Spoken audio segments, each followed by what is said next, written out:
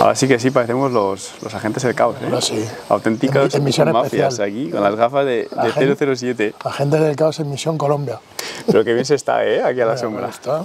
Son las 11 de la mañana aproximadamente y se está súper bien. En un principio queríamos grabar en la piscina, pero está complicado. No hacemos pie. Queríamos, ya, tenemos que poner los, Tenemos los, que poner los manguitos. los flotadores.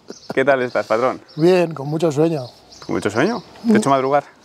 Sí, porque ahora estoy de vacaciones con el niño y no me levanto antes de las diez y media. ¿Y hoy te has levantado? A las 10. Hostia, Pero me acosté muy tarde, tío, me acosté muy tarde. Entonces tengo un sueño a ver qué sale hoy. tienes el sueño cambiado tú, eres un poco búho. Eh, no, tío, pero. mm, a ver, no quiero empezar con turras. Pero es interesante, yo he leído mucho sobre cronobiología. El madrugar está sobrevalorado para el rendimiento. Hay personas que rinden por la mañana y personas que rinden por la noche. Yo Claro. rindo por la noche. Tienes que adaptarlo a, tu, a tus ritmos. Y hay, hay todo un, hay todo un mundo ahí detrás de eso. ¿eh? Personas que, que son vespertinas, ¿vale? Que en mi caso, que funcionamos mejor a partir de la media tarde. Yo por eso además cuando entreno, entreno tan tarde por la noche, Claro. eh, porque me va mucho mejor. Y hay personas pues que van a- que funcionan, que son diurnas. Yo por ejemplo no soy diurno. Yo sí que soy bastante diurno. Yo por la mañana, después del café, estoy a tope. El Tengo una problema- franja horaria muy buena hasta el mediodía que... Sí, el problema es, el rollo es ese, que como que se tiende a asociar que una persona es activa o, o cuando es diurna y que si es vespertina, en el caso que es muy vago. Y no, no es así. Sí, me no me tienen montado. Te oye la talle. ¿eh? Ahí se la.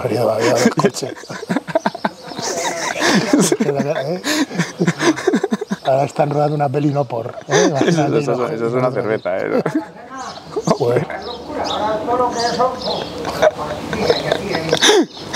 Bueno, Es lo chicos, que tienen los adosados. bienvenidos a un nuevo podcast. Vamos a, voy a hacer aquí el pequeño mm, recopilatorio de los temas. Juan Faro sufre un robo, una noticia sorprendente en, en esta comunidad. la- no es la primera vez que le pasa, ya, pobrecillo. Es verdad, la ha pasado ya más veces. Luego la muerte, la tragedia, la muerte de Joe Linder, Linder, que también está muy, muy candente en redes. Luego Praders, que se ha marchado a Estados Unidos. Eh, King Ángel, cambio de categoría. Y la última, pues un culturista que ha generado bastante polémica. culturista Gayer. Yo no lo he indagado. ¿Tú Yo sí, yo sí he hecho bastante post, me han, llamado- me han insultado bastante. Eh, a mí, me- o sea, es curioso, porque me han de- en, en su día me denunciaron por delito de odio, eh, por homófobo, y ahora el otro bando me, me- me está llamando progre. Ya. No sé cómo me las apaño, pero lo acabo pillando siempre. Haga lo que haga, siempre te dan, ¿eh? Esto es como el que va a una orgía y la acaban. Sí. ¿eh? Que Yo lo que he visto que era, yo lo que he visto es que era un culturista que en las transiciones lo hacía pues bastante, podemos mal decir, amanerado, ¿no? Un mal posador. Bueno, Pero bueno, si quieres, luego ya profundizamos y nos ponemos ya con la. Con la vale, faena. pues empecemos con el bloque de, de Juan Faro. Juan Faro ha sufrido un robo de su Mercedes. Está, me está torturando este. ¿Cuál? este. Es que es muy paleto, ¿eh? ¿Es muy? Es como muy paleto, ¿no? Esto es lo- el otro día vi un vídeo que se reían de los que tienen adosado. Pues mira, esto es lo que pasa cuando tienes un adosado. Que tienen los problemas del chalet y los problemas del piso. Porque tampoco le puedes decir, oye, baja un poco la Sí, sí, podemos tirar algo. Al lío, bueno, Juan Faro.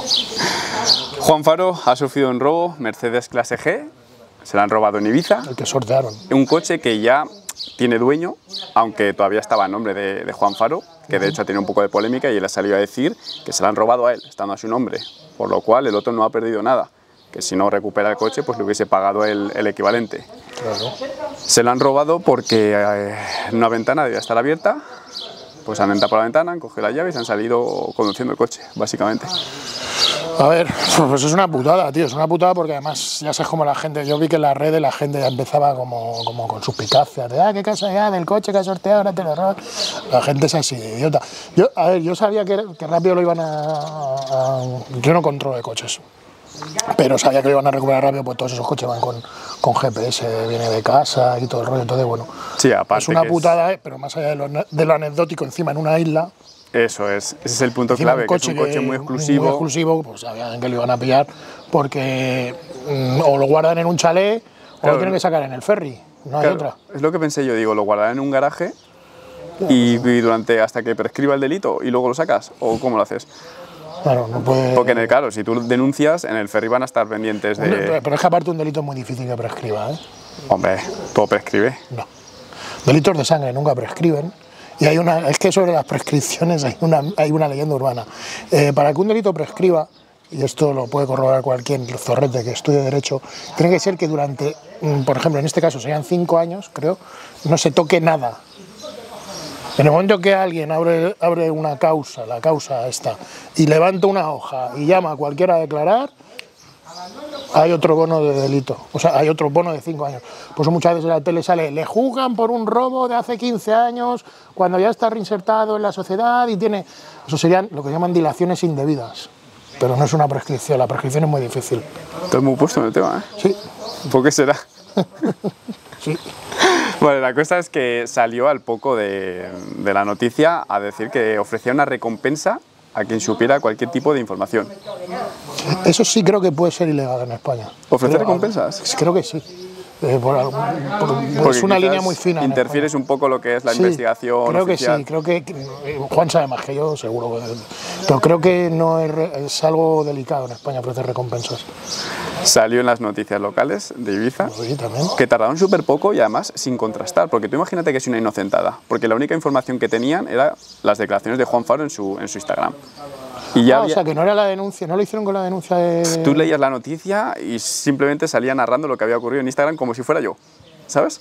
Pero coño, pero es, un- es una noticia local, ¿sabes? De, Hostia, pues sí, sí, yo pensaba... son muy temerarios, ¿eh? Los de la prensa, ¿eh? Sí, sí son temerarios. Yo he visto muchas cagadas ya. Yo tuve un problema hace muchos años con la prensa. ¿Qué te pasó? Eh, salí en, ya no existe, salí en la revista Interview y me acusa, mm, se refieren a mí por una, una tipología de delitos y tal que yo no había, que yo no había cometido, pero claro, me pusieron en portada. Hostia. Y les escribes para que te pidan una rectificación, que es, es la vía oficial, ¿no? o sea, tú, un, un- un periodista hace esto, lo puede poner así a plana mayor, y luego tú les debes escribir para solicitar una rectificación. En el caso de no rectificar, pues continúas con la demanda. Normalmente es como funcionan los abogados. ¿Qué pasó? Que a mí me pusieron, la, a mí me pusieron una foto mía así de grande en interview y luego la rectificación era al final del todo un recuadrito así Fleta pequeña, que había que leerlo con lupa, pero ya consta como rectificación. Claro. Eh, tienen eso de nunca dejes que una verdad te, te arruine un, un buen titular.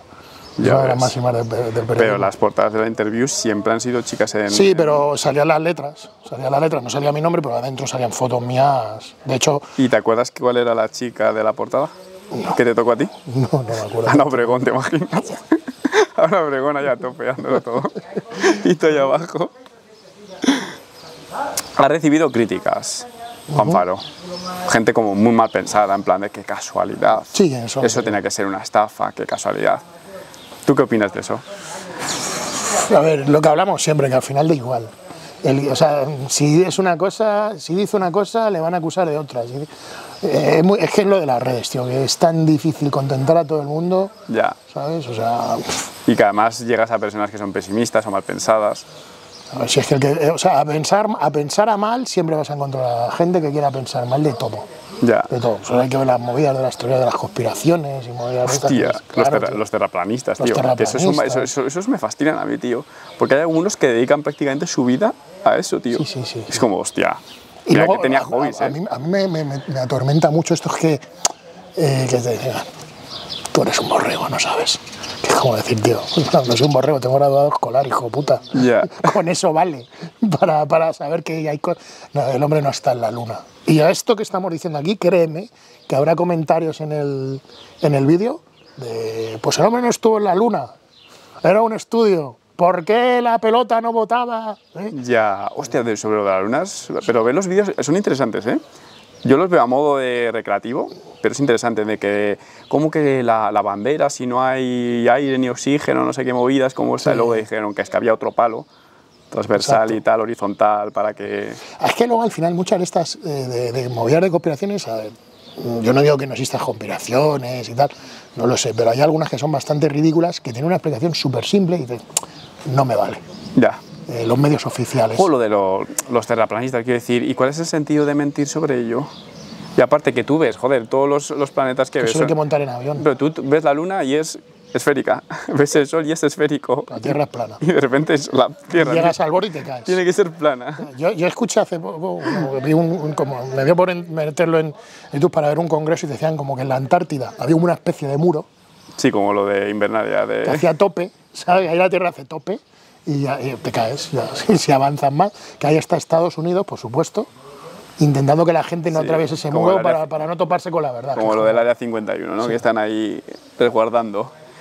Volviendo al tema de Juan Faro, ha recibido críticas también porque en plan hay gente como que se alegra, ¿no? Cuando ocurren estas cosas, en plan, ves, te pasa por llevar una vida tan ostentosa, tan pretencioso, por mostrar tanto en redes, y él ha salido a contestar que si no hiciera eso no tendría la vida que tiene, que su contenido gira en torno a, pues precisamente enseñar los lujos. Pero es que Juan es un tío muy auténtico. Yo, por ejemplo, no, no me gusta eso de... A ver, es que Juan no aparenta, es que Juan es así. Ya. Estaremos de acuerdo que hay gente que en redes aparenta, pero es su día a día, y Juan graba su día a día, y Juan yo quedo con él y, y vive así. Es como Ya. quedar con, con John Stark, con, eh, con Iron Man. Con Tony Stark. Con Tony Stark, perdón. Sí. A mí me recuerda muchísimo a Tony Stark. Sí, es que es- Juan es eso. Entonces, di- ¿en qué? o sea, mm, penaliza, penalizam- penalizamos la, la autenticidad, si es que él es así. O sea, no es un tío. O sea, yo conozco muchos casos, no voy a decir nombres, de gente que me consta que aparentan en redes lo que no son o lo que no tienen. Pero es que Juan vive así. Es que Juan vive a calzón quitado. Entonces, tío, ¿cuál es el problema? Si precisamente yo creo que las redes, y repito que no, eso, eso no va conmigo, pero, pero al final es un tío auténtico, ¿no? Que vende autenticidad y esa es su autenticidad, ¿no? El, el mostrarse así, tal y como es, viviendo así al límite, esas fiestas, eso de, pues ahora voy a hacer un sorteo y al que lo gane me lo llevo conmigo de fiesta una semana. Pues Sí, a ver, yo, eso, eso me parece bien, lo de mostrar tal y como eres, eh, pero sí que es cierto que quizás también hay parte de la gente que se refiere a que tiene que tener un poco más de cuidado. Pero es que eso también es Juan. Es que Juan es... Quiero decir, tú puedes enseñar, oye, te dedicas a una vida de lujo y vives en torno a ello, me parece estupendo, pero a lo mejor mm, enseñar la localización de tu casa hay que tener cuidado igual.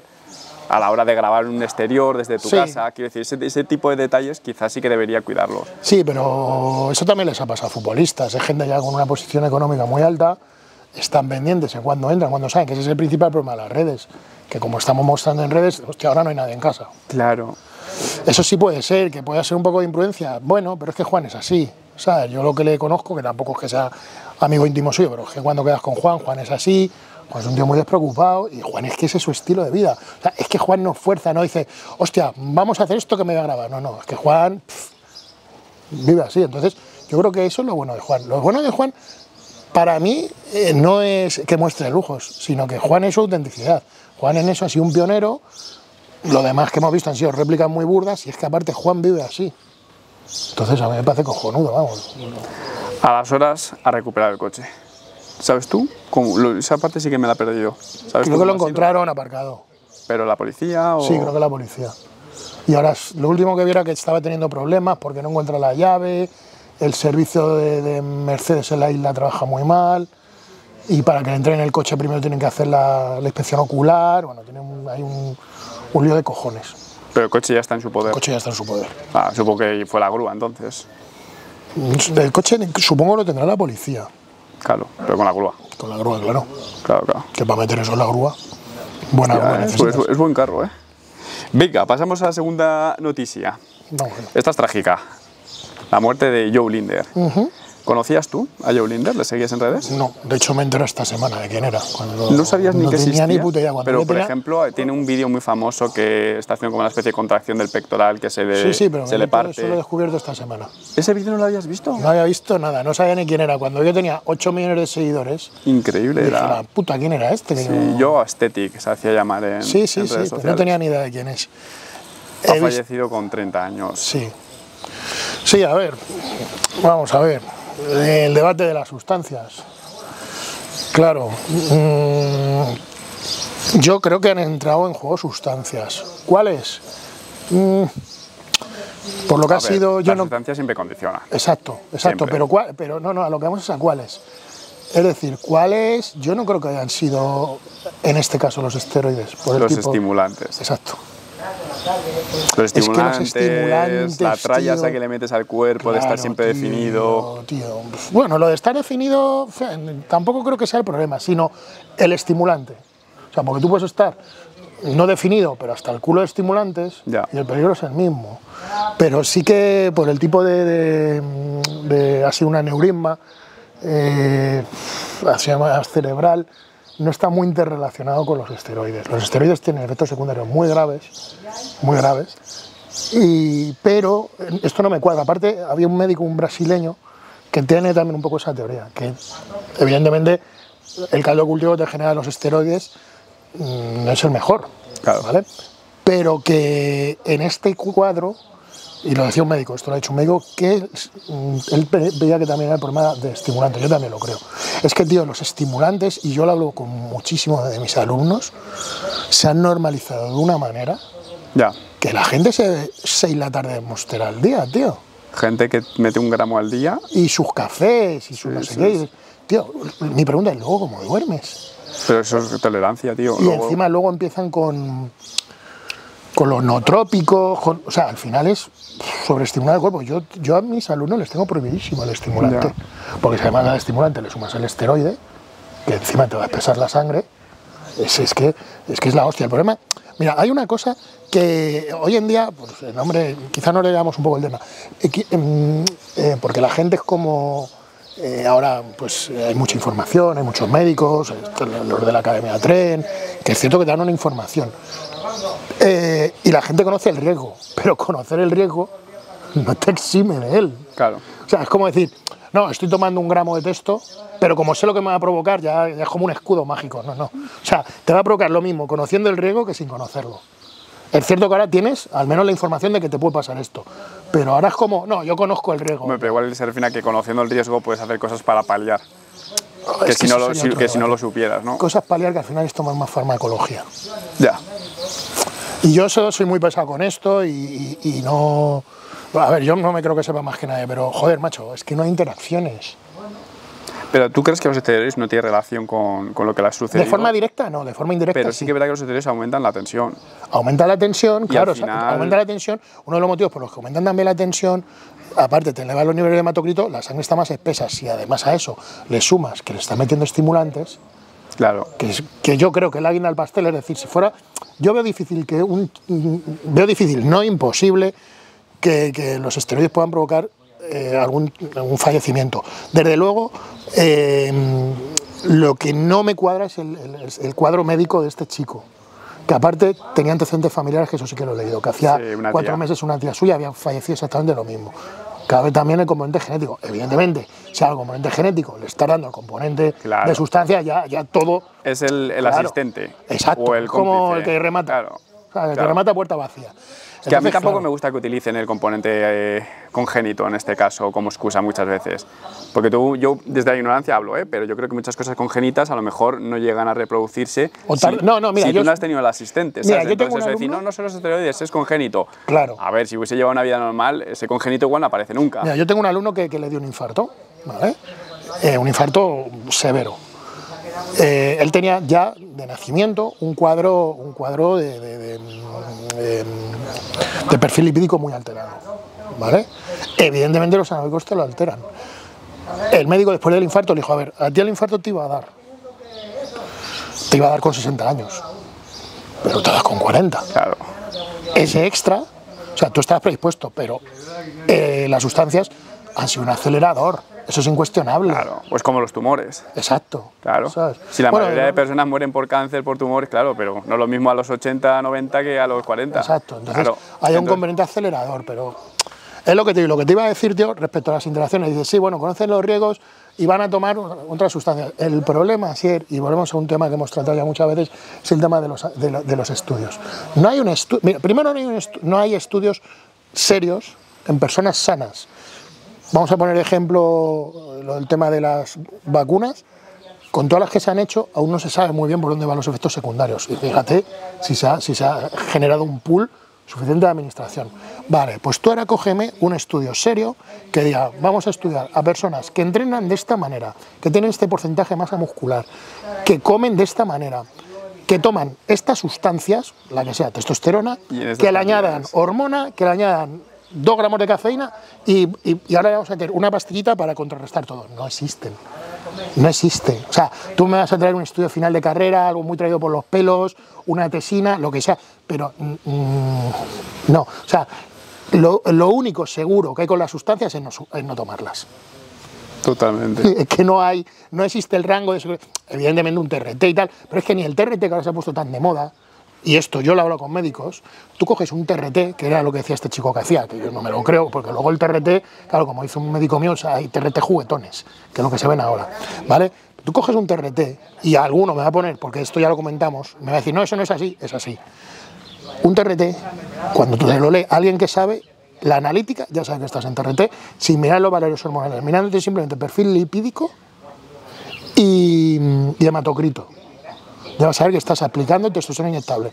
Otra cosa sería con geles y tal, pero el TRT tiene también efectos. Entonces, eh, es que la única, el único rango de seguridad es no tomarlas. No tomar nunca. Exacto. Exacto. Entonces, mm, respecto a este chico, yo sí creo, porque siempre salen los que los que no, que no, que no tienen nada que ver, sí, evidentemente tiene que ver. Y aunque hubiera un comentario genético, hay un acelerador. Luego está la, la otra panda de taraos, que eso sí que es, eso sí, están de frenopático, que usan la imagen del chaval pues para ponerla en vídeos o para vanagloriarse de, de esto que... Eso es lo que te quería preguntar. ¿Tú crees que la gente, cuando ocurren estas tragedias, hay gente que se alegra? Sí. Hay auténticos psicópatas en nuestra sociedad y en este colectivo, en nuestro colectivo, hay un claro psicópata. Que todos le ponemos nombre y apellido, es un auténtico psicópata. Porque un psicópata tiene que tener los huevos así de gordos para salir con una guitarrita, hacer el mongolo, mientras está gente, hay gente fallecida la pantalla y decir literalmente que se jodan. Aunque luego con el cascut haya puesto otra cosa, que se jodan. Eso es ser un psicópata. Porque ese chaval a ti te puede responder. Vamos a partir de que, como eres un psicópata, que alguien tome sustancias, ya a ti te condiciona para pensar que es una malísima persona y que se merece el mal. Allá tú con tu conciencia. Pero esa que estás poniendo en una pantalla tiene hermanas, tiene familia, tiene pareja. ¿Cómo te sentarías tú con tu puta psicopatía y tu puta guitarrita? ¿Vale? Si pusieran tu imagen o la imagen de tu hija o de mis hijos, ¿cómo me sentaría yo? Ya, ya, ya. Entonces, eh, cuando se abre esa espita, es una espita muy peligrosa. Porque cuando tú haces eso, tienes que estar dispuesto a todo. Pero a todo de verdad. Entonces, yo creo que hay líneas, tío. Eh, a mí, yo sé que tú de esta persona no hablas, pero a mí me da auténtico asco como ser humano. Auténtico asco como ser humano. Porque más allá del autobombo, eh, de todo, de todo, de todo, de todo, hay límites, tío. Hay límites y el límite termina en el dolor humano. Si a ti fulanito te representa lo peor como deportista, porque tome sustancias, ese señor del que tú te estás riendo porque ha fallecido, ¿haya tomado sustancias o no? Vale, yo puedo entender que a ti esa práctica te dé repugnancia, pero ese señor tiene una familia en su casa que lo ha pasado muy mal por su fallecimiento. Entonces luego pasan las cosas que pasan en la vida. Un poco de empatía, ¿no? Ya, ya es que ya es que es una cosa tío, que he visto esta semana y lo tenía que decir en el vídeo porque es que me da auténtico asco. Ya pasa al nivel de asco, como ser humano. Yo también lo he visto, ¿eh? Y haciendo chistes, chistes malos porque es un paleto. Pues un mal educado, porque es que eso ya pasa en todas las líneas, tío. Vamos a pasar el tema, tío, porque me, me enervo. Vale. Chicos, pasamos al bloque número 3. ¿Ya te has calmado un poquito? Bueno, Tenemos aquí, me a ha los, recordado lo del Andrew Tate. tenemos aquí a los fenómenos, clac, clac, clac, clac. Eh, pale- los paletas, tío, son así. A los obreros y están ahí cerveza, clac, clac, clac, clac, clac, clac. Y digo, bueno, Están a tope. pues esto va a ir subiendo. Vale, tercera noticia. Pradesa, Estados Unidos. Sorprendente, esperable, Eh, necesario. necesario para él. necesario. Y, y- y mira, hasta, hasta ahí. Esto es lo que tengo que decir de, de ¿Qué te pasa con Pradesa? No, no, no, no me pasa nada. Eh, pero mira, yo creo que Joan. A ver, el otro día eh, hizo un vídeo de desahogo Joan diciendo que, pues bueno, que estaba un poco quemado, de que lo que le quema a Joan, ¿no? De, que se hable de él y tal. Y aquí hay otro debate, tío. Aquí hay otro debate, porque yo entiendo que la gente diga, eh, joder, pero si eres un personaje público, ¿cómo no se va a hablar de ti? Si se habla de otros deportistas, y, o gente, o personas que son como tú, que generes contenido, este tipo de contenido, eh, que yo ya no creo ni que sea salseo, porque ya, por ejemplo, eso también ha cambiado. Yo no, ya no veo salseo, veo cronistas, ¿vale? Hmm. Noticiero, Noticiero, sí. de no- cosas públicas. Noticiero, oye, pues mira, está en Estados Unidos, está en Estados Unidos. Claro. No veo la malicia hablar de eso, no, no la veo, no la veo ahí, yo no, yo no estoy de acuerdo con Joan en ese aspecto y, y entiendo que la, la comunidad se revoluciona bastante, a mí mucha gente me preguntó ¿qué, qué piensas y tal, y des- como personaje público, digo, hostia, tío, como personaje público, ¿cómo hablar de ti? Entonces, en esa parte en- entiendo a generadores de contenido que han dicho, pero vamos a ver, tío, pues como pasó en su día con Víctor Valdivia también y tal. Pero por otro lado, eh, y yo siempre me he intentado hablar de Joan en estos términos, como deportista, como culturista, le entiendo, le entiendo en ese aspecto que en este momento necesite eso, porque ya lo hemos hablado que cuando, cuando, cuando terminas de competir hay una catarsis dentro de ti. Hay una catarsis que te puede durar una semana, que te puede durar un día, que te puede durar un año. Entonces yo creo que Joan lo que estaba necesitando era esa catarsis y para esa catarsis necesita aislarse como ha hecho, necesita Estados Unidos, necesita salir de aquí. Entonces, como deportista lo entiendo porque yo mismamente muchas veces, cuando he terminado de competir, yo siempre lo hacía, ¿eh? Eh, antes de conocer a Marta, cuando terminaba de competir siempre me iba un viaje largo, 15 días al extranjero. Y no entrenaba, me- aunque no, no te digo ni ganando ni perdiendo, evidentemente yo no he llegado al nivel de Joan, pero necesitaba eso, tío. Y muchos deportistas lo veo, muchísimos deportistas que trabajan conmigo, veo que necesitan eso. Entonces, ¿qué pasa? Cuando eres una persona pública, aquí confronta el aspecto público de Joan con el aspecto deportivo. ¿Vale? Entonces, como persona pública yo entiendo el descontento de, de- de buena, de la base social, ¿no? lo entiendo, pero como entrenador y como culturista que ha vivenciado eso, entiendo esa, esa petición que hace Joan, Esa necesidad. ¿no? esa necesidad, que a lo mejor no la expreso de la manera más, más suave, pero también es su forma de ser, pero yo sí la entiendo, tío, yo sí la entiendo y sobre todo, y aquí hay un poco a los generadores de contenido, o sea, ahí lo por ejemplo, bueno, generador de contenido para mí soy Valdivia y tú, principalmente, ¿vale? Eh, lo, separo, lo quiero separar un poco de los que no somos generadores de contenido. O sea, de los que somos gente que habla de culturismo. Porque también es cierto, y es que esto tampoco se pone a ver, que todos eh, sacamos, metemos un poco la cuchara en ese cazo. Claro, ¿sabes? todos De- comemos de de, ahí. de Joan. Entonces entiendo que, que al menos la parte que es la mía entiendan y empaticen con ese silencio que ha pedido un tiempo en redes. Repito, separándolo de la parte social. Que tú, por ejemplo, digas, eh, oye, que, que Joan está en Estados Unidos, tal. A lo de la turra que le hemos dado a algunos de eh, tiene que entrenar así o tal o tal. Ahora se necesita ese silencio porque todo deportista, todo culturista eh, lo necesita, porque es que es súper necesario, tío. Entonces, yo esa parte sí la entiendo. La, el personaje público, pues, tío, en el, en el castigo va la penitencia. ¿Tú crees que la pasa muy mal después de la competición? Pero como, como, escucha, como Crizo, ¿eh? O sea, que Crizo ganando no la pasa mejor. Que el culturista necesita un silencio. A Joan se le suma además la carga social, la es. presión social. Pero el culturista cuando termina, cuando tú terminas de competir, y, y es muy importante lo que te digo, aislarse del resultado, ¿eh? de, lo- de los puestos más que del resultado. El culturista tiene un choque, confronta con la realidad, confronta con los problemas, porque dice la gente, hay, hay- hay algo que tú decías, hostia, Joan vuelve a, a como a que no gestionar un poco el, el hate de Sí, la redes. sensación que volvía un poco al berrinche Claro. anterior. Porque cuando, cuando estaba en ese berrinche, cuando no estaba en preparación. Cuando estás en preparación haces, ¡pum! Pones el foco. Pues el foco, te da igual que el mundo arda a tu alrededor. Termina, ya no tienes ahí y empiezas a mirar. Y ves el hate. Es que es así como funciona. Ve lo que ha dejado atrás, ¿no? Exacto, dices, hostia. Y encima pasa que ese hate que antes estaba aquí, cuando él ha estado en ese paréntesis, ha terminado estaba aquí.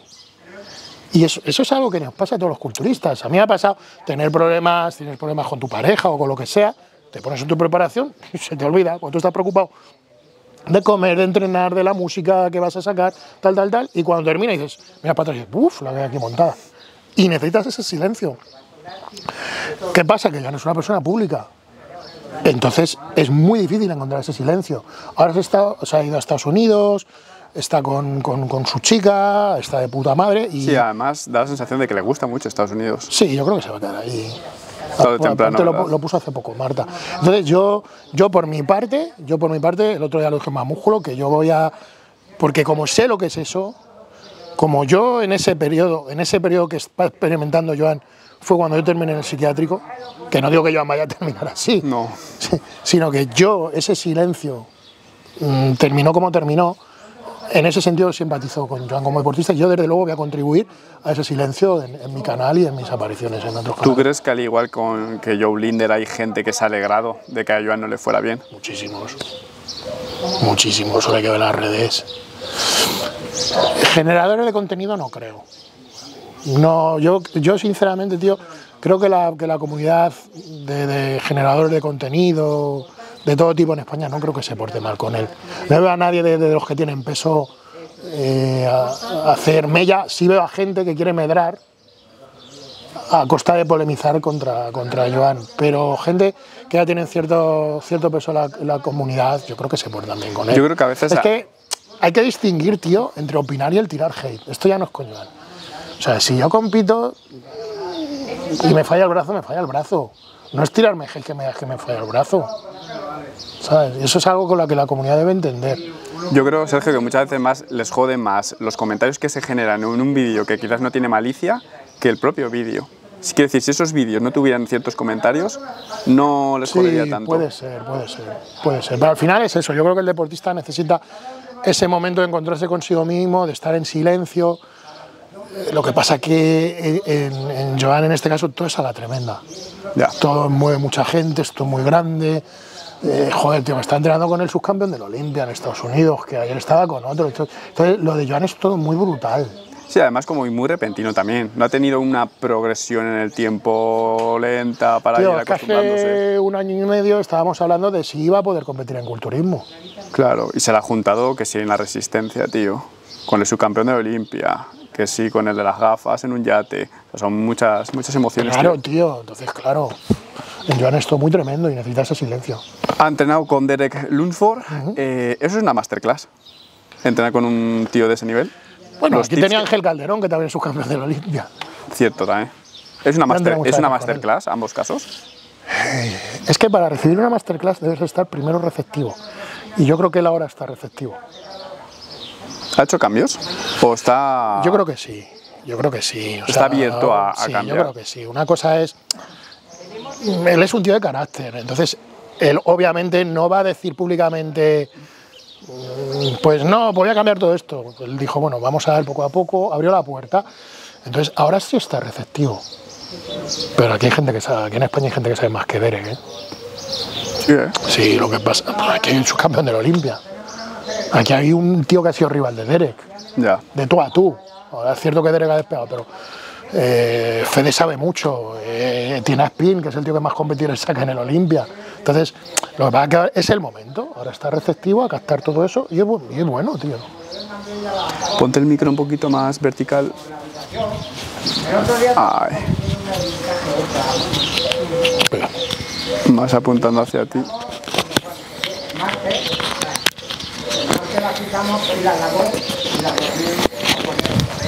No hay. ¿No? Ahí está mejor. Sí. Bien, ¿algo más que tocar de Prodals? Nada. Pasamos a King Ángel. ¿Quién Ángel? ¿Es definitivo ya que va a cambiar de categoría? Eso comentó en un vídeo que sí tenía pensado que este iba a ser su último año y que no se cerraba a ninguna categoría. Claro, solo les queda un año, ¿no? Les quedan meses. 11, 10 meses o así No, menos. Si el Olimpia es en, oc- en octubre, a finales de septiembre, pues es tres meses. Ah, hostia, es verdad. Tres meses. Este año el Olimpia vuelve a su fecha antigua. Ah, es que yo pensaba que de- desde que la anunciaron era un año. No, no, no. Este- en el Olimpia se chapa. Buah, pues quemando los últimos cartuchos. Está intentando ir al Olimpia porque es la última posibilidad que tiene de ir al Olimpia Men's. Si Pero se este pasa a Classic, tiene el mismo problema, pero con un poco de margen. ¿Tú qué crees que va a hacer?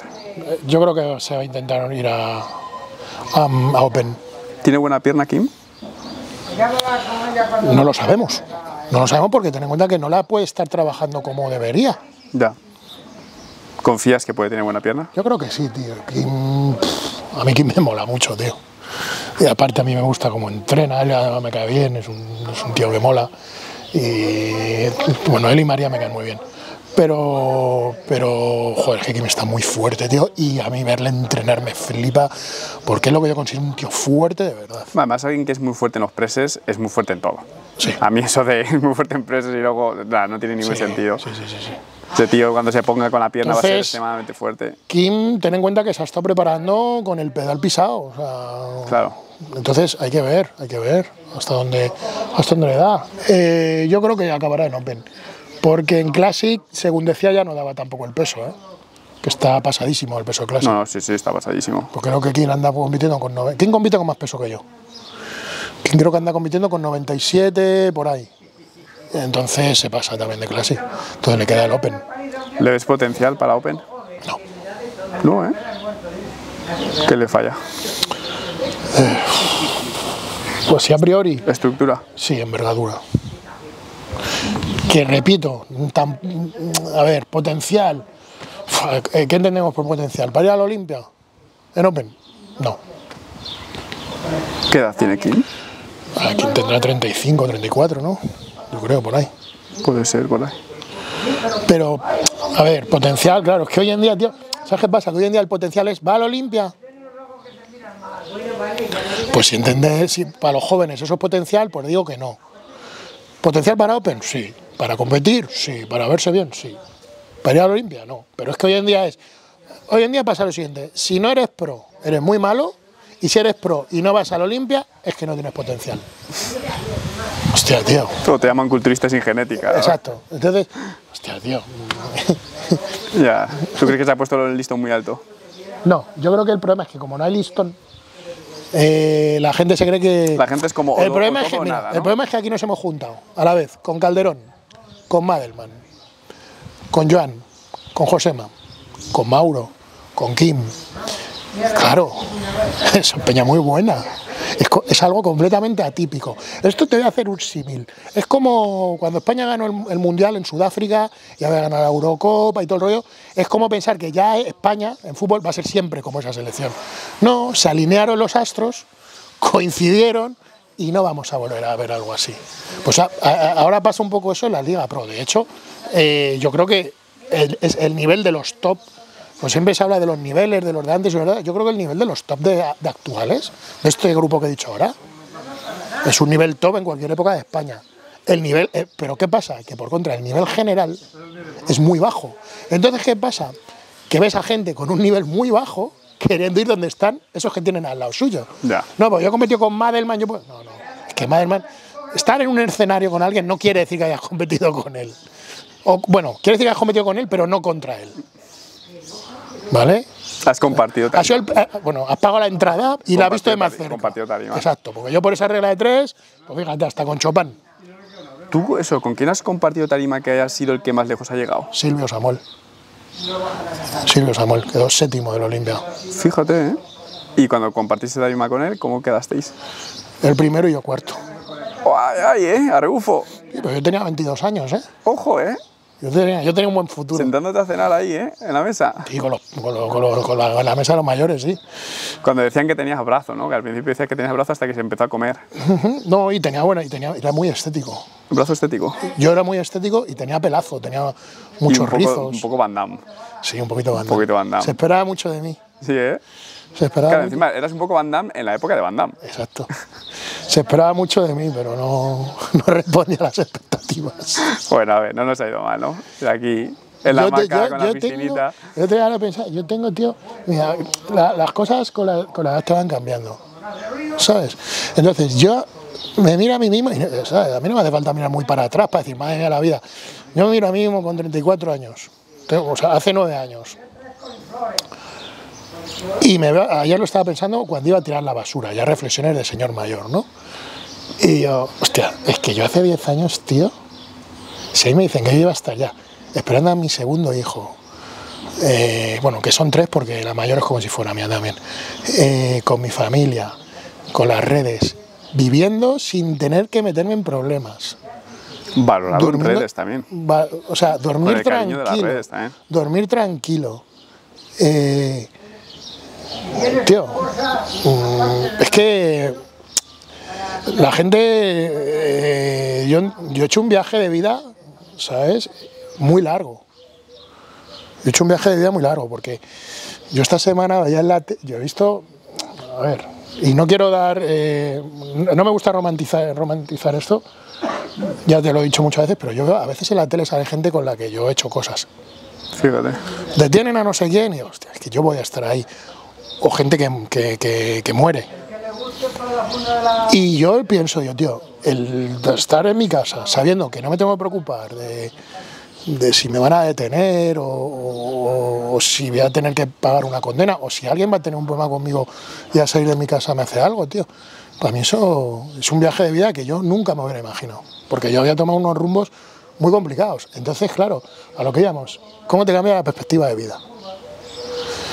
Yo, tío, ni quiero un coche guapo, ni quiero una casa guapa. Yo no me cambio, se lo decía a mi mujer, es que no cambio nada de lo que tengo. O sea, la paz. La paz, tío. Porque, ¿sabes qué pasa, tío? Que solo los que hemos sabido lo que es eh, la guerra, valoramos la paz, tío. Porque para la gente, tú cuando tú has estado toda tu vida tranquilo, pues puedes llegar a aburrirte. Pero yo, tío, yo es que llevo una vida muy complicada, o sea, muy complicada porque yo, incluso yo tenido, mira, cuando yo conocí a Marta, Asier, ahora ya lo puedo contar, cuando yo conocí a Marta, yo tuve la oportunidad de meterme en unas cosas, tío, que me ofrecían mucho dinero. Pero mucho dinero, te hablo de muchísimo dinero. De ser, hoy podría ser rico. O a lo mejor me podrían haber colocado al mes siguiente y estar preso. Y pues yo ya estaba fuera de todo, pero me ofrecieron trabajar y tal. Y yo estaba conociendo a Marta, había quedado con ella dos veces, tío. Dije, es que esta chica, tío, Tiene algo. tiene algo y no va a entender, no es de este mundo. O sea, es una chica normal, Marta es una chica con su carrera universitaria, con sus cosas. Digo, no va a entender esto, no es una chica que pueda ir a verme al talego, no es una chica que pueda convivir con eso, digo. Y aposté por eso, tío. Aposté por eso. Y, y salí ganando. Entonces, no sabes lo que te va a llevar la vida. No sabes dónde te va a llevar la vida, Qué tío. bonito, tío. Algún día, ¿eh? Hablaremos bien, bien. Sí, Un sí. especial patrón. Especial patrón. Y nos cuentas todo. Cómo empezaste, cómo te iniciaste en la calle, cómo fueron tus primeros pinitos. Mis primeros pinitos, bueno, eso te lo cuento muy rápido. Estaba en un gimnasio y vino un tío y me dijo, ¿quieres currar, ¿quieres currar conmigo? Eh, Me han dicho que quieres currar conmigo, sí. Y me dio una dirección y dijo, toma, ese tío me debe pasta, vete y me lo solucionas. O sea, de matón. Sí, más o menos, a generar, a cobrar un dinero. Y lo solucioné, ¿Y lo recuperaste? sí. ¿Tuviste que ejercer algún tipo de violencia? Nah, eso no, eso, eso no da el caso. Pero, pero fue así, si es que tampoco hay demasiada... También yo he sido siempre un chaval de la calle, ¿sabes? O sea, entonces al final una cosa te, te va llevando a la otra. Eres como, como una lata a la que todo el mundo da patadas. Y vas cayendo a un lado, luego a otro. No, a mí no es un mundo que me guste. No es como en las Pero para películas. acabar también en esos mundillos te tienes que juntar ya de entrada con gente así. ¿Y por qué unas personas acaban con ese tipo de gente y otras no? No, no creo que sea así. A veces tú eres ese tipo de gente. El decir, que yo la- tú ves mis amigos de siempre y siempre han sido todos deportistas, sanotes. Y luego está el otro lado, que es gente que se junta con, con los típicos no, no, macarrillas. no, no, mis amigos éramos todos, somos éramos desde pequeños. Y te- tengo el grupo de, de, de, de, WhatsApp, ninguno tomábamos drogas, ninguno. No, no, no. Gente muy sana, muy deportista todos. No, no, no, en mi grupo eso de que uno se pusiera pedo, jamás. Éramos de zumo. Zumo y ya. ¿Y cómo acabas conociendo a los otros? Eh, no, era lo que te iba a decir, que es que a veces eh, no se trata de conocer a gente, es que a veces tú eres esa gente. ¿Sabes lo que te quiero decir? Sí, sí. Empiezas un día que haces una cosilla, otra, otra, otra, otra, otra, y al final no es que conozcas a nadie, es que eso se va juntando. Ah, pues mira, fulanito de tal barrio hace tal, ah, pues yo también, pues venga, quedamos y hacemos algo juntos. Funciona así. A veces tú eres la gente. Hostia, O sea, yo era el niño al que los padres le decían que no se juntaran conmigo. hostia. No me tuve que juntar a nadie. O sea, yo era, yo era mala influencia por mí mismo. Para No demás. recomendable. Yo era no recomendable, por eso yo he tatuado bala perdida en las manos. Hostia. Porque cuando era pequeño, a mí una, yo solo tenía un amigo. Y a los demás niños no nos dejan juntarse con, con nosotros, pues decían que éramos una bala perdida. Estos son balas perdidas. Pues solo yo tatuado en las manos. Hostia. ¿Te lo llegaron a decir? Sí, se lo decían a mi madre, tu hijo es una bala perdida. Tía puta. Sí, mis padres han pasado muy mal. Mis padres han pasado muy mal. Pero es que no hay gloria en eso. Es que no hay gloria. Entonces, al final, pues las cosas pasan porque sí que es cierto que hay gente que saca partida de eso. Con esa gente que a lo Hombre. mejor más mayor. La mayoría suelen acabar mal, ¿eh? Sí, sí, sí, claro. claro o sea, Porque tampoco no saben salirse a tiempo muchas veces. yo por Hacen suerte. y en vez de salirse siguen, siguen, siguen hasta que mi acaben. grupo de amigos cercanos, eh, algún- quitando alguna excepción, Eh, o sea, todos hemos sabido parar. Supimos parar hace ya muchos años, pero sí que ahí, pues te lo comenté en un vídeo que había fallecido un amigo mío. Sí, hace poco, recientemente. Sí, y a veces pues, veo la tele y pasa algo, o sale algún amigo, o sea, hay gente que yo conozco, pero el grupo más cercano, más cercano, más cercano, todos supimos Salir a tiempo. Sí, se lo decía a Marta el otro día, digo, yo soy el ejemplo de que, de que la reinserción funciona. Pero, y a ver, es que ya nos estamos yendo, pero la reinserción funciona cuando hay un, un- un objetivo. Yo primero fue el deporte y luego fue Marta, pero por ejemplo la cárcel, la cárcel no vale para reinsertar. A veces empeora incluso, ¿no? Sí, sí, la cárcel es la universidad, tío. De la cárcel sirve para reinsertar a un junkie que entra y le quitan. Pero, pero a alguien que. Yo de la cárcel salí con más contactos que nada. Yo de la cárcel salí con curro. Y habrá gente que salga muy rabiosa también, ¿no? Sí, hombre, pero ten en cuenta que hay gente que está por la cara. Por la cara. Yo estuve por la cara. ¿Sabes? Pero ten en cuenta que, que la cárcel sales con contactos, con trabajo, con, con más amistades. joder, Sales con palo también, ¿no? Decían. Pero tienes que estar cumpliendo mucho tiempo para que te quede paro y ya estar condenado. Ajá. Y lo puedes elegir cobrar mes a mes o cobrar de golpe cuando salgas. Hostia. De golpe para trapichear otra vez, ¿te imaginas? Bueno, Habrá gente que haya hecho 90%, eso. El 90%. No jodas. Claro. ¿Qué te vas a montar? ¿Un, un 7-Eleven? La llevas toda la vida Una vendiendo. franquicia. Llevas toda la vida vendiendo, eso es hacer otra cosa, ¿no? La cárcel normalmente, tío, como decían, si sales, entras cabo y sales general. Tenemos siete minutillos para la última noticia. ¿La Vale. tocamos? La tocamos. Culturista polémica. Cuenta tú qué es lo que ha ocurrido. Pues, ¿qué ha ocurrido? Pues que ha ocurrido que ha salido un culturista queer, ¿Cómo que queer? queer, Explícate. afeminado, ¿eh? Hoy, se puede decir afeminado. Es que es, hoy gay. es que es muy complicado, ¿eh? Es que dicen queer esas mierdas. ¿Vale? Ha salido a competir. eh, y es que es la- el afán de la gente polémica. Porque yo te digo, culturista afeminado, para que haya polémica, sale a competir en categoría. ¿Tú qué piensas? Para que hubiera polémica. Y me digas, en categoría bikini. Digo, no, en, categoría masculina. ¿Cómo me ¿Qué decís? Si es un hombre, ¿dónde va a salir? Exacto. Pues la peña, la peña, es que los progres, pero si el nota se ha cogido, es un hombre, ya sea competir en categoría hombre, pero es que sale con, con pestañas y maquillado y con uñas. Eh, Bueno, escúchame, ¿Se puede? claro que se puede. Pues entonces. Es que entonces, es el afán de. Hoy.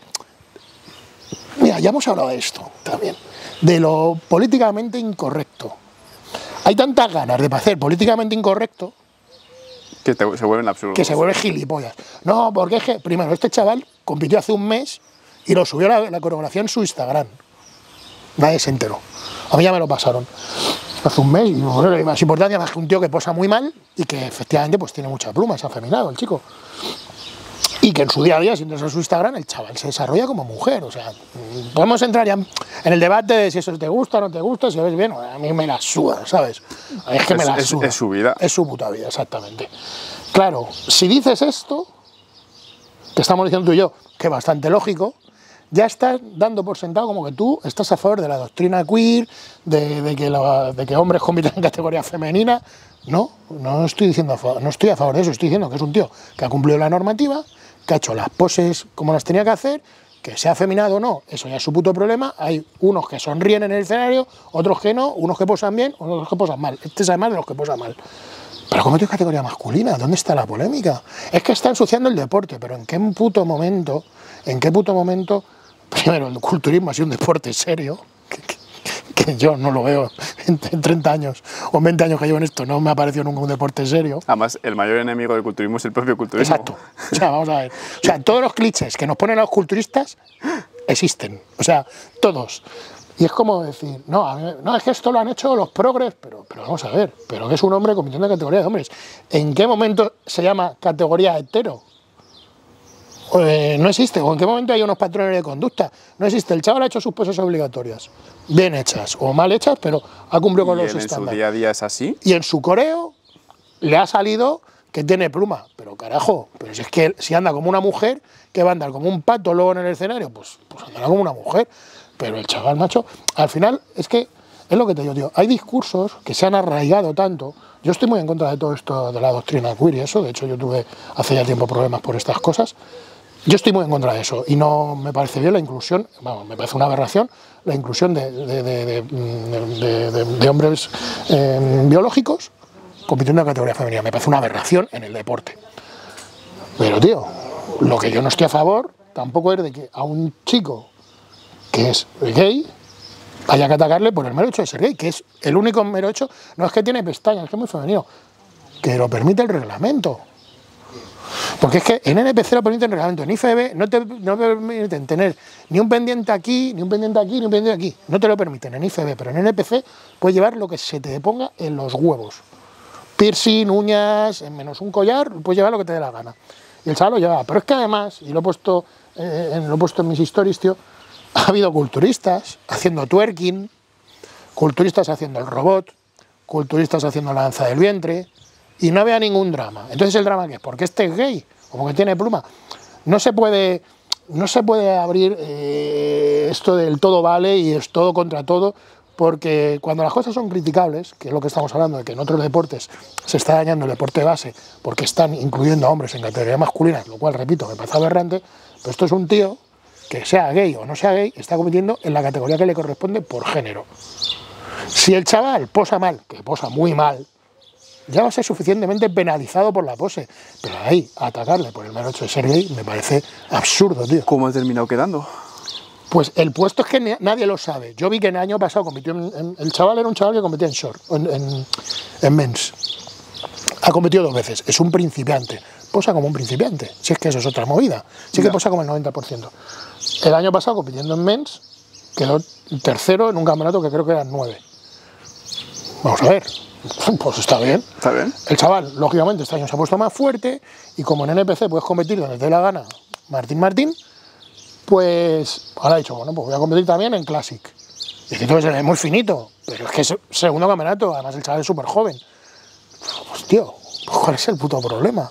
¿Qué vamos a poner? Un patrón de conducta, hay que sonreír, hay que, hay que ser así. Precisamente yo eh, yo soy un tío que cree eminentemente en la libertad del ser humano para hacer lo que le dé la gana.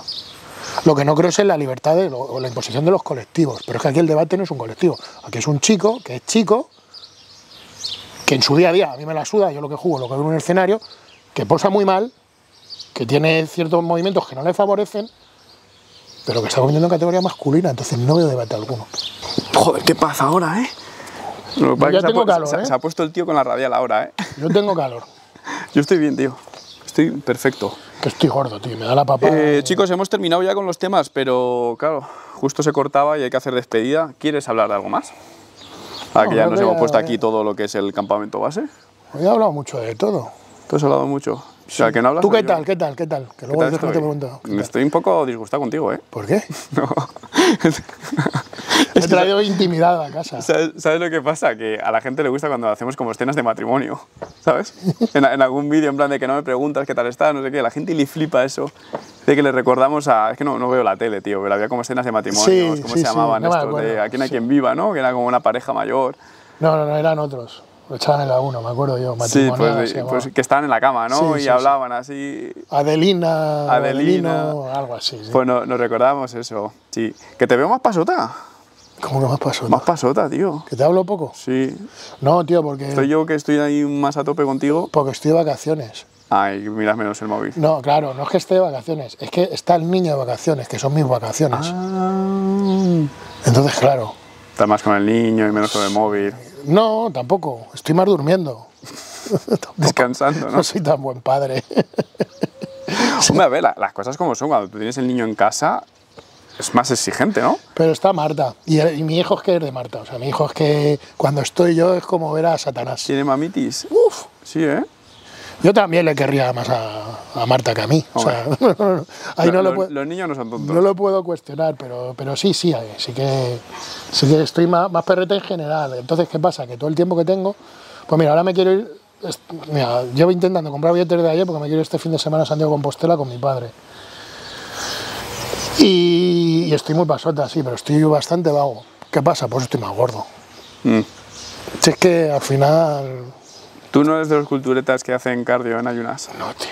No sabes andar. Tengo a Fran súper enfadado, tío. Sí, te manda. Me manda cardio 20 minutos al día porque dice, joder, Sergio, que ya estás muy A nivel mayor. cardiovascular. Claro, está muy mayor, el hematocrito, no sé qué. Digo, Fran, tío, si es que me levanto a las 11 de la mañana casi, ya hace mucho Pero calor, tío. después en la cinta un poquito, después de No, entrenar. No puedo hacer ni 5 minutos en un la poquito de cinta. bicicleta. Que no, que no, que no, que yo después de un... Yo en estático no puedo, yo tengo que ver cosas. Pues por la mañana, primera hora, te lo Pero es que quitas. mi primera hora son las 11 de la mañana. Pues Mira, yo ayer, yo ayer era a las 3 de la mañana y estaba viendo la- el documental de gladiadores americanos en, en Netflix, acordándome Hostia. de mi infancia, tío. ¿Has visto el documental de Choche He visto solo la parte de culturismo. en Netflix? Sí, he visto ¿Qué solo la parte de culturismo. Me, me mola más gladiadores americanos, tío. Sí, ¿eh? Que el de Choche. Es que gladiadores americanos te pillo muy chiquitín. Gladiadores americanos, ¿qué es? Puta mierda de americanos no será. Hostia, no American sé. Gladiators, tío. Pero es que yo soy un niño una, de los una- una 80. recreación de los gladiadores de verdad. Es un documental, una miniserie sobre la historia de los gladiadores americanos. Pero tío. gladiadores americanos. Ah, pero tú estás hablando de los gladiadores americanos de verdad. O sea, yo pensaba que me estás hablando de un programa de televisión que hicieron. Claro. Y era gladiadores americanos. Sí. Y era una, una recreación de los gladiadores. Ahora solo gladiadores 30 años después contando pues, las cosas que hacían y eso. Pero ¿cómo era el programa en sí? Pues era un programa de pruebas que ibas básicamente a que te pegaran los gladiadores americanos. Había pruebas, había muchas culturistas profesionales, había culturistas profesionales que eran los gladiadores.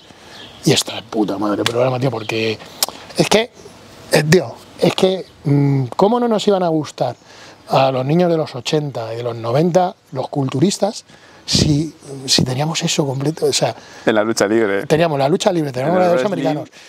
Yo cuando vi a He-Man, los muñecos antiguos de He-Man, hostia, tío. Era como quien, Y luego las pelis de acción. de la los años patrulla 90. X, teníamos a Schwarzenegger, teníamos a Stallone. Todos queríamos estar fuertes, tío. Entonces, ¿con qué modelo crecen ahora los chavales? Con una mierda modelos, tío. Se han atenuado mucho los dibujos, ¿eh? Yo crecí con Lee Priest, tío, no con Green los, los caballeros del Zodiaco, ¿tú sabes los valores que tenía, que te inculcaba esa serie? Tú ves los, caballeros del Zodiaco a día de hoy y no te parece una serie infantil, ¿eh? No, no, no. No, No es infantil, ¿eh? Escúchame. Escucha, hay de honor, lealtad. Estaría muy de actualidad con este tema que hemos hablado, porque yo creo que todos odiábamos a Andrómeda. A mí me molaba. No jodas. El de las tío. cadenas. Andrómeda, el del pelo verde A mí la armadurita rosa. Porque era manera, ¿o no? Joder, era majula, tío. Perdía más aceite que un Era como el culturista este. A mí me molaba. No, no, yo era del Fénix, tío. Yo era del hermano. yo, abiertamente, a mí siempre me ha gustado el color rosa. A mí que diga la gente. No, yo es mi color favorito. A mí el color rosa me parece súper Yo tenía un póster en la habitación que era Mark Lenders, Malote, Vegeta malote. y Caballero Fénix. Fénix era el del cisne, ¿no? No, Fénix. No, Fénix. ¿Cuál era el El hermano de Andrómeda. Ay, no me acuerdo bien. Joder, que el malo. Yo recuerdo que Andrómeda era- el de las cadenas. Sí. Y por eso a mí me gusta mucho, porque las cadenas me flipaban. A mí me molaba el Caballero Fénix. Y luego, joder, y Pegaso. Ay, se Es que un los poco protas, chuchón, tío. a que los protas no No, me pasa igual con Goku, tío. Sí, bueno, pero Goku es un mermeladas. Uf, Goku era un suavón, tío. Mm, Sí, era infumable. Pero Vegeta, joder. Pero peor que Goku era Trunks. ¿A ti no te pasa que empatizas con los villanos? Siempre. Yo te lo juro que- Vegeta me lo quería tatuar y no me lo tatué. Yo empatizo un montón con los villanos y los justifico. Hombre, sí, sus razones tendrán. de mía, lo que le ha pasado es que es normal. Yo que con Vegeta así. iba a muerte, tronco. O sea, yo con Vegeta iba a muerte. Y con Mark Lenders. Y en cambio Oliver Atom, tío, decía, "Pero este bringado, tío, que lo, que lo ha tenido todo hecho. Su padre piloto, decía yo. Era de cuna, ¿no? Claro, pero yo, era de- de- de- yo tenía esos tres. Y Caballero Fénix, la historia era que cuando eran pequeños, que eran como una especie de lagoje, eh, había un sitio que no quería ir ninguno de los, de los niños que estaban en el orfanato, ¿no? Y era una isla que los mandan ahí, los dejan ahí a la- de la mano de Dios, y le tocó a Andrómeda. Y era esa isla. Pero Fénix dijo, era el hermano, dijo, mi hermano No vale pasto. igual, igual, igual no vuelve. Me voy yo. Y claro, se fue a la isla y se volvió loquísimo a la isla. Sí, ¿eh? Sí, sí, sí, sí. ¿Pero qué, qué armadura llevaba Fénix? ¿O qué animal era cuando...? El Fénix, el Fénix era el Fénix. Ah... Creo que, creo que le pongo imágenes. Sí, a con ver, el es que pelo rizadillo. Era muy kinky. ha pasado mucho tiempo. Sí, y, se, y se comportaba como... Como un auténtico kinky. Vale, vale, vale. Eso. ¿Y qué más había? Estaba el cisne, Estaba el cisne, estaba Dragón, que era Sirju. que llevaba una armadura verde. ¿Verde? Sí. Cisne, que era. Ya, pero el cisne era muy mermeladas también. el cisne puto- era el puto- típico un- guapo guay. Era un puto cisne, tío. Sí, el ¿A, cisne- quién el coño, cisne- a quién coño le motiva como animal un cisne? El cisne era un poco George Michael. Sí, Sí, así. sí, era sí, la, sí. Era, esa, esa es la, la belleza de los 80, que hoy en día de- de- diríamos, claramente era gay. ¿Sabes? Pero en ese momento era como. Es que además todos, todos los dibujos de esa época tenían los, los, los, los clichés que hoy en día ya de mayores los entendemos. Porque, por ejemplo, si tú miras campeones, tenía a, Goku- a- a- o sea, entre, entre Oliver y Goku hacías paralelismo. Sí. Marlenders y Vegeta, y luego tenías personajes como. eh, em, no, no era Phyllis Callahan, tío, no me acuerdo. Al que le daba el infarto en campeones, uno que estaba todo el rato, ay, el corazón, que me muero, no sé qué, que era como el penas, que era, "Ah, si te mueres Sí, ya, el tío, pupas, el pupas. Sí, que era el anabólico, te por las cosas que tomas tienes mal el corazón. Y todos tenían como ese paralelismo, tío, porque yo me acuerdo que, por ejemplo, el cisne era otro penas, tío. Es cierto. Y todos tenían los mismos no. Yo no sé si viste las gárgolas. A mí me gustan mucho las No, gárgolas. eso ya me pillo mayor. Estaba Goliath, Sí. que era también representaba lo que es tú, Oliver Benji, que era como muy correcto, muy, era muy fuerte, pero muy mermeladas. Y luego estaba Taylor, que era como la versión mala de él, que era mucho más guapa. Para mí, para mí, la mejor serie de dibujos de los 90, sin lugar a dudas, Chicho Terremoto. Mm, pero cuidado que tenía conductas muy chungas a día de hoy, ¿eh? Hostia, vamos. Porque las tocaba a las chicas sin consentimiento, le levantaba las faldas, Oye, les hacía fotos, creo que también. Eso a día de hoy Escucha, Podemos, diría, pero ¿qué Podemos lo valores, qué valores destruiría. está inculcando a los chavales? Los buenos valores, los que teníamos los de los 90, los buenos valores, coño. A mí, a una, había una parte que, que era que deja el baloncesto y se pasa al ping-pong, y yo es que me descojonaba, porque a mí además me pilló con la mano rota, y era el tiro manaza. Y era que se empezaba, tú flipas, se empezaba a dar hostias en la, en la, en la- esta de ping-pong, claro, se rompía la mano, se ponía la mano así y le temblaba. Y daba la pelota con efecto decía, tiro manaza. Y yo me descojonaba. Era muy bueno, tío. Era muy bueno. Chicho Terremoto. Y también me gustaba mucho Lupin, tío. No sé. Lupin que hacía lo mismo, pero robando. O sea, ese era peor. Ese era un delincuente que robaba, pero además acosaba a Yo las veía, tías. tío, las frutas esas, los frutis. Los frutis. Y los trotamúsicos. Los trotamúsicos yo la veía, los frutis no, me parecían de mollones, tío. Pero yo los frutis era muy pequeñito. Sí, muy Ah, pequeño. pincho, mochilo. Y gar- eh, gazpacho. Sí. Pincho, mochilo y gazpacho. Luego también yo me he criado mucho con el Correcaminos y estos, tío. Cada día de Sí, hoy lo veo y digo, vaya dibujos más. Pues son muy buenos, tío. Sí, pero me transmiten una sensación, no sé, rara. Yo iba con el coyote. Siempre empatizas con el malo. Mi abuelo- pero es que el coyote, claro, no podía ser vegano. Eh, mi abuelo se, se, se murió con 90 años y lo veía todos los días. Y luego Piolín. Piolín y el gato. Un casco me da violín. Piolín, tío. Y luego un ratón. ¿Cómo se llama el ratón este también? Tony Jerry. Tony Jerry. Los de la pantera rosa me gustaban a mí. Sí. Pero cuando no detec- hablaba, cuando era muda. El detective Gadget. El inspector Gachet. Eso, Inspector Gadget. Inspector Que Gadget. tiene un montón de trucos. A mí ese no me gustaba. Sí, pues eso yo sí que los he visto. Pero, joder, macho, es que yo veía series. Es que era otro rollo, tío. Yo creo que al final sí que. eh, eh, en, en- Yo creo que en mi esas generación y la tuya, la televisión ejerció gran influencia. Pero yo creo que lo que gustaba era muy genuino porque no estaban tan condicionados a la opinión pública. Exacto, exacto. Y todos eran muy libres, o sea, independientemente de, que había clichés que se repetían, pero esto se solía ver mucho con los japoneses, o sea, porque tanto Saint Seiya, bueno, Caballero del Zodiaco, como La de Dragón, eh, como la otra que como campeones son series japonesas, entonces estaban ya muy estabuladas, ¿no? Pero luego veías, tío, había series, tío, que decías tú, si es que esto, eh, Dragones y mazmorras la, la, la, la prohibieron en Estados Unidos, la de tío, que yo jugaba rol además. Eh, había, había mucho, mucho donde elegir, tío. David Fenómeno era una serie de puta madre. Hostia, yo se las pongo a mí, yo se las pongo a mi hijo esas series. Sí, ¿eh?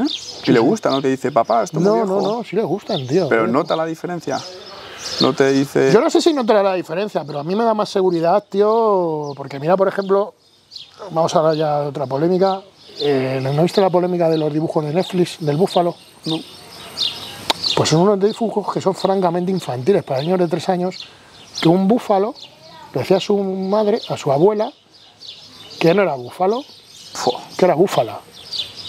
tío, pero qué manera de enredar, macho. Entonces, eso a un niño de tres años le hace la picha un lío. Entonces, Pero es que me- ahora que está de moda no sentirte... Es que no sé, tío. yo eso, tío, yo eso cuando... ¿Y cuál es el límite? De yo me siento... A mí me representa... ¿Cuál es el límite? Me representa la hiedra.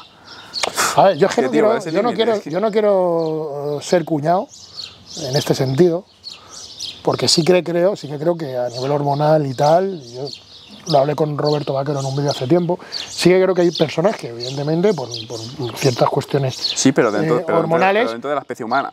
pueden, pueden sentirse dentro, no, pueden sentirse en un género erróneo por relaciones más allá. Pero el, el problema es cómo te autopercibes. Y no voy a poner el ejemplo de las anoréxicas. Si durante los últimos 10 años llevo escuchando que yo soy un vigoréxico, porque me, me autopercibo flaco, y se me quiere como tratar a una anoréxica, cuando dice que, se, que, que cuando pesa 100 50 kilos y se autopercibe que pesa 100, no se le hace caso y se la trata, porque una persona que se autopercibe de un género que no es, y repito que sí que creo que hay casos en los que son, Sí, son también. reales, ¿por qué ahora por norma se, ya se... Ah, sí, sí, tú eres esto, te sientes así, para adelante.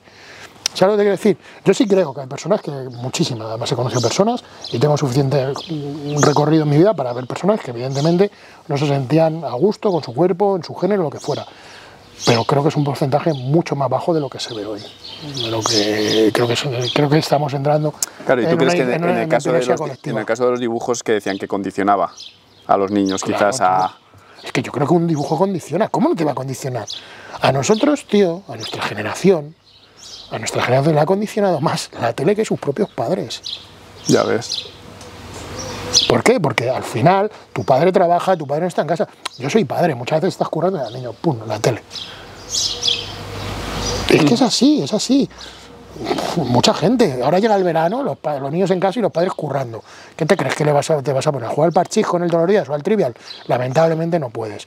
A los niños les condiciona mucho la, la información que te llega. Igual que te condiciona a ti. Igual que tú estás diciendo que tú empatizas con los malos y yo empatizo con los malos. Eso es un condicionamiento que nos ha hecho ver eh, un recorrido de vida eh, que empieza por los dibujos.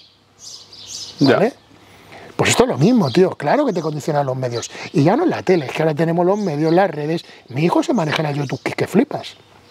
Pero que flipas. ¿Te tienes puesto YouTube Kids? Yo tengo el YouTube Kids, mi hijo me coge el iPad, la desbloquea, pum, pum, pasa las aplicaciones, entra, pum, pum, pum, pum, pum. Tiene tres años. Bueno, tiene cuatro. Pero ya lo maneja desde que Sí, tiene que tres. en cualquier momento le preguntas. Claro. Oye, ¿dónde busco...? Claro, no, pero es lo que te quiero decir. Que cómo no va a condicionar, claro que condiciona. Y lo hacen con esa intención. Y, yo creo que a los niños es una línea delicada, porque yo creo que la palabra normalizar a mí no me gusta, ¿vale? Porque al final normal pf, puede ser todo, o, si pueden- o puede ser nada, ¿vale? Depende de dónde pongamos la línea. Yo creo que a los niños hay que buscarles respeto, que hay que decirles, mira, pues hay gente que es diferente que tú y no por eso le tienes que meter con un palo en la cabeza. A otra cosa es de que tu hijo deba formar parte de esa diferencia. Yo debo tener la potestad de cómo quiero que mi hijo se educarle, no como piense, pero educarle. Mis padres me educaron de una manera y yo tengo una educación y tengo unos pensamientos, pero tengo una educación. Y mi educación se basa en el respeto. Entonces mi padre, o sea, no creo que yo estoy convencido porque además lo veo, porque tengo hijos, en- en- tengo hijos en la educación pública. O- bueno, no están en la educación pública, actualmente están en la privada, pero sé como desde el colegio se le va encauzando, porque lo vivo. Cualquier Ya. padre que, que- que ve, los temas se da cuenta cómo le van encauzando por una línea de pensamiento, por un adoctrinamiento que existe. Claro que existe. Quien diga lo contrario, le invito, cuando tenga un hijo, Buah, en Euskadi eso se veía mogollón, ¿eh? En Euskadi, claro, tío, oh, en los años 90, claro, tío. las icastolas, Hombre, se, se ¿cómo que comen a los niños de las icastolas? salían todos... Así. Sí. Es que el adoctrinamiento existe. En todos los, ahora estamos con este adoctrinamiento. En los años 40 a los niños les hacían cantar el, el cara al sol. Claro. A mi, a mi abuelo le hacían cantar, bueno, a mi abuelo no, eh, porque mi abuelo a uno de mis abuelos que se fue al cole le hacían cantar el cara al sol en el cole. ¿Por qué? Porque había un adoctrinamiento por parte del régimen vigente. Actualmente eh, el, la- la- el ideario que es imperante es el que es, ¿vale? El adoctrinamiento este progre, queer o woke, como se quiera llamar, y van por esa línea la educación. Es, es- es- es lo, que, lo que intentan implantar. Entonces yo creo que es muy incorrecto, tío, y muy Claro, peligroso. pero lo peor de todo es que la, la intención es adoctrinar en torno a la tolerancia, que eso siempre estará bien. Pero el problema es que lo están haciendo de una manera un poquito equivocada. Pero es que ni incluso la tolerancia, es que no todo es tolerable. O sea, vamos a ver, tío. Eh, la homosexualidad no es que sea tolerable, es que es absolutamente, vamos, Es que, es, Es que ya es- es una cosa que está fuera de debate. Claro. Ahora bien, a lo que estamos derivando en determinados ámbitos, no, tío. Yo no tengo que. ¿Por qué tiene que haber en un colegio una bandera? De, ¿Por qué en el colegio se tiene que celebrar el orgullo? ¿Por qué en el colegio se tiene que.? Ya, yo bueno, también- yo no, se, no se celebra porque está fuera de, de- esto, de, fecha, de, horario lectivo. Pero ¿por qué se tiene que haber suprimido el Día del Padre? ¿Por qué en Barcelona no se, eh, ahora han propuesto no comer cerdo en las fiestas? ¿Por qué? ¿Por qué estas tonterías? No, tío, es que no. Que un país debe mantener sus costumbres. Yo no quiero, por ejemplo, ya no estamos trayendo el tema. Yo, por ejemplo, cuando el tema de, de- de los extranjeros y tal, yo no quiero que un, que un extranjero venga aquí y pierda sus raíces, o sus costumbres, sus normas, o tenga que, vivir, o tenga que llegar al carnaval y celebrarlo. Pero quiero que entienda que aquí se celebra el carnaval. Y tampoco quieres perder tus raíces. Exacto. O sea, a mí eso de, no, que se integren, a mí me suda los huevos que se integren, no, que cumplan la no, que- a mí que cumplan la ley, bien, y que entiendan que esto aquí es así. Y si esto no te gusta, pues prueba en otro país en el que sea diferente. pero Totalmente aquí de se come cerdo, tú no tienes por qué comerlo. Yo no te tengo que dar un puto bocadillo de jamón, pero entiende que aquí se come Oye. ¿a ti no te da la sensación de que llegan de fuera y tú te tienes como que aclimatar a ellos? Porque es lo que... la- Pero cuando tú vas luego a sus países todavía te tienes que aclimatar mucho más a ellos. Pero es y que- es como, ¿pero por qué somos tan pringados en todos lados? Claro, pero es que el error es el nuestro. Claro, por de eso te puta digo. madre. Yo he estado en muchos países eh, islámicos, en muchísimos. En, en- en- Y allí no hay tonte ahí no te dejan pasar ni media, ¿eh? y no bebe- ya, escúchame, Yo en tú no bebes en el aeropuerto he visto cosas chungas, ¿eh? Escúchame, en el yo, aeropuerto. yo estando en Indonesia, en Indonesia mm, no podía beber alcohol. Que no lo bebo nunca. Pero no, no, esto es un país que tiene estas normas y para beber alcohol necesitas un permiso yo en el aeropuerto de Marruecos vi a un policía marroquí echarle la bronca a una pareja que estaba de luna de miel, una pareja española, porque se habían dado un beso, pero beso muy normal. Y echarle una bronca. Y, como, y en plan, sepárate, sepárate. Pero a mí no me parece mal. muy juntos. Y es que a mí eso no me parece mal, porque es su movida.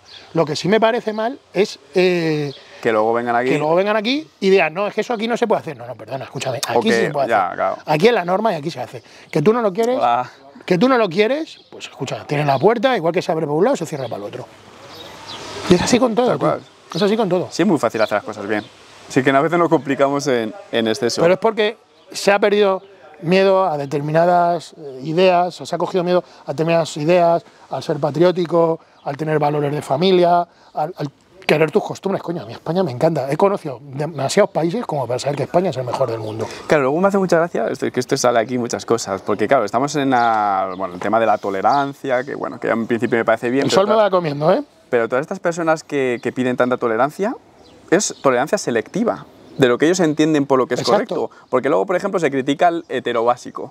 Quiero decir, si estamos hablando de tolerancia y diversidad, ¿por qué criticas al que es Porque heterobásico? venden un modelo de tolerancia, venden un Claro, modelo de pero- idea, pero si tú- como la buena. Claro, es tolerancia y diversidad para todo. Si te viene un tío casposo, Exacto. heterobásico, respétale porque tú estás pidiendo tolerancia Mira, y ¿y diversidad. sabes cuál es el problema? Que las personas que estamos en la otra posición muchas veces no sabemos defender esa posición adecuadamente. Porque, por ejemplo, el debate de este chico, que hemos estado hablando, el del que ha competido, si tú ves las expresiones que hay hacia ese chico en determinados posts, da suficiente rédito a estos que piensan así, este modelo de tolerancia implementada, para decir, ¿veis? Nos atacan. Ese es el problema. Por eso eh, hay que dar la- eh, no sé, no sé, la confrontación cultural. Hay que darla desde un punto de vista adecuado. Es decir, no, no, si a mí no me provoca problema tu movida, pero la movida es así, que es lo que yo intento explicar con lo de este chico. Yo no tengo problema con este chico, pero esto es así, así. El problema es que cuando entras al post en redes de este chico, lo que ves son burradas, desviado, están acabando con el culturismo, esto es, esto es una aberración. No, tío, escúchame, que está muy bien, que yo creo que en tu libertad de, indi- de individual, siempre y cuando se estén cumpliendo las normas. ¿Las normas se están cumpliendo? Bien, a lo que te dé la puta gana. Las reglas del juego. Exacto. Exacto. Pero el problema es que como cuando se pretende eh, dar la batalla cultural se da desde un punto de vista, de un posicionamiento erróneo y muchas veces, por qué no decirlo, del lado del que yo me siento que estoy, a veces está cargado de cazurrismo, es muy difícil dar la batalla cultural cuando empieza ya con esos términos. Ya. Pues si tú hablas de unos términos, el ejemplo, ya lo he dicho a mí muchas veces, es Jordan Peterson, tío. Es un tío muy letrado, es un tío muy estudiado, muy sabio, muy culto y da la batalla cultural desde un punto de vista del diálogo, desde un punto de vista de la razón, desde un punto de vista que es incluso incuestionable. Así es como se da la batalla cultural a toda esta inmundicia eh, ideológica que nos están queriendo implementar. Joder, vaya, vaya Estás locura, vaya locura de vídeo, espectacular. ¿eh? Te sacas reel, ¿eh? Uy, me sacó siete reels. Te sacas reel, ¿eh? Hoy hago el verano. sacarte de casa y te viene. Fíjate te viene la nuevamente, ¿eh? es que es un espíritu libre. Lo vamos a dejar aquí, ¿eh? Sí, sí. Vamos a dejar aquí porque vas en rampa, ¿eh?